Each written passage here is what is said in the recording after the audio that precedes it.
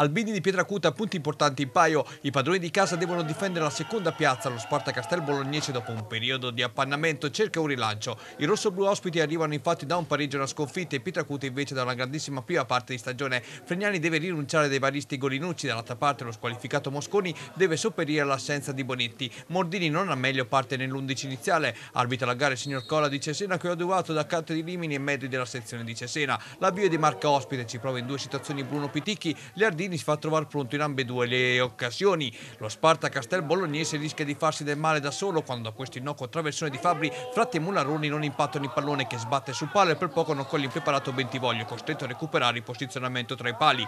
Il primo acuto di Fratti arriva a 14 ma il bomber scarica in bocca Bentivoglio. Due situazioni analoghe capitano tra il 19 e 23 Qui Bruma serve Tomasini che viene steso da Bentivoglio. L'arbitro stoppa l'azione per fuori gioco. Quattro minuti dopo Fratti anticipa Mordini che lo tocca da dietro, sarebbe nuovo rigore rigore ma l'arbitro fischia un altro fuorigioco. Bruma inizia a prendere confidenza con la porta, la conclusione termina alta, mentre gli ospiti pervengono al tiro direttamente a calcio piazzato. Leardini non corre pericoli, ma la partita assume sempre più un monologo assoluto. Fratti scalda nuovamente i guantoni a Bentivoglio, infine Bruma lanciato a rete davanti all'estremo ospite, pecca di freddezza. Finale di tempo di marca ospite, Mainetti inventa per Placci che di testa mette al lato. Squadra riposo sullo 0-0 con la squadra di Fregnani che sente che può colpire ma deve armarsi di pazienza. Menicucci chiama la presa alle Ardini ad inizio ripresa, ma sarà solo un lampo seguito da un calcio piazzato di Pirozzi respinto a pugni uniti dalle Ardini. Da questo momento in poi lo Sparta Castel Bolognese esce di scena. Bruma lanciato nuovamente in profondità, spara addosso a Bentivoglio, mentre il tiro di Tomassini viene fermato prima da Bentivoglio e infine dal fuorigioco chiamato.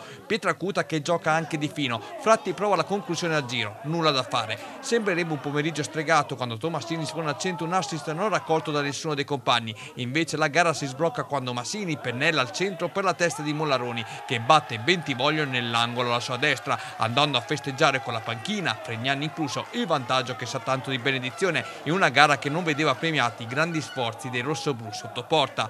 Pietracuta che a questo punto vuole il raddoppio, Bruma spara in curva, a seguire Fabri che deposita la sfera di poco a lato e quando in area arriva l'ennesimo cross Mularoni ha il tempo di stoppare e calciare la sfera. Bentivoglio alza sopra la traversa, gol rimandato di un giro di lancette dalla bandierina Bentivoglio respinge corto sul piede di Tosi che ben appostato mette i titoli di coda al match, gelando gli avversari ancora in partita. Alla domenica di gloria manca Fratti, i compagni lo cercano insistentemente, la sfera di entrare non vuol saperne. Al tris ci arriva Tazibai, bravo a rimanere in gioco su questo tiro di Tosi sporcato sui propri piedi. Da due passi trafigge Bentivoglio e decreta finalmente la fine dei giochi.